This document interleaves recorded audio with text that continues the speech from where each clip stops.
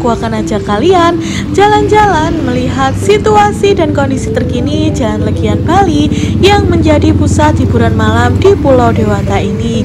Kalian yang sering ke Bali pasti sudah tahu tempat-tempat ini ya guys.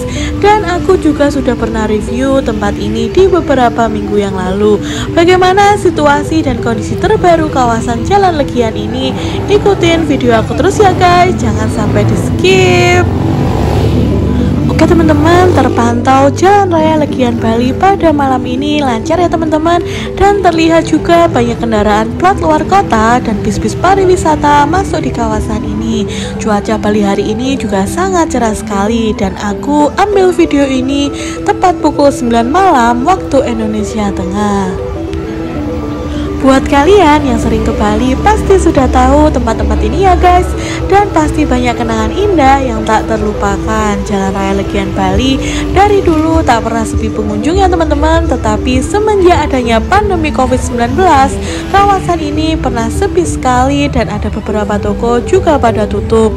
Tetapi melihat kondisi dan situasi malam ini Kawasan Legian ini sudah mulai pulih kembali. Terlihat sudah banyak sekali wisatawan yang berkunjung berkunjung ke ya guys dan memilih Legian ini untuk menghabiskan liburan malam mereka. Oke guys, kita lanjut jalan kaki ya. Ikutin video aku terus. Jalan Raya Legian ini termasuk jalan yang sangat legend pusatnya dunia malamnya Bali ya guys banyak anak-anak muda yang memilih menghabiskan malam mereka untuk berkunjung ke tempat wisata malam ini. Di Jalan Legian Bali banyak sekali kafe-kafe, ada klub malam, ada bar, diskotik, hingga restoran yang berjajar di sepanjang jalan Legian ini dengan hiburan malam yang tak pernah tidur dengan lampu-lampu disco dan musik yang menggema dari tempat hiburan mengundang kalian untuk menari dan bergabung dalam suasana malam ini. Dan terlihat di sini juga juga ada wisatawan yang berjalan kaki menikmati suasana wisata malam Legian ini. Baik wisatawan asing maupun lokal memadati kawasan ini ya guys.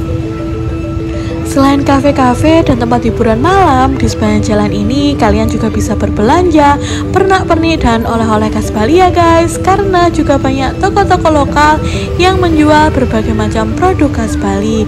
Sangat lengkap sekali ya guys, pastinya harganya juga sangat terjangkau.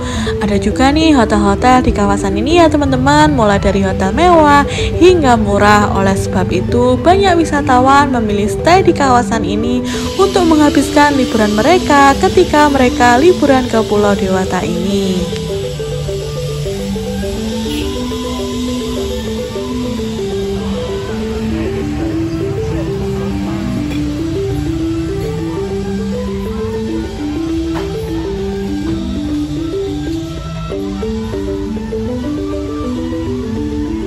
Ada Money Changer, Studio Tato, juga tempat-tempat spa ya guys di seberang jalan Legian ini. Jika kalian capek berjalan kaki, kalian bisa mampir di tempat-tempat spa ini ya guys. Semakin malam semakin ramai aja ya teman-teman. Banyak kendaraan yang masuk di area ini dan terlihat banyak sekali bule-bule yang berjalan kaki di kawasan ini ya teman-teman.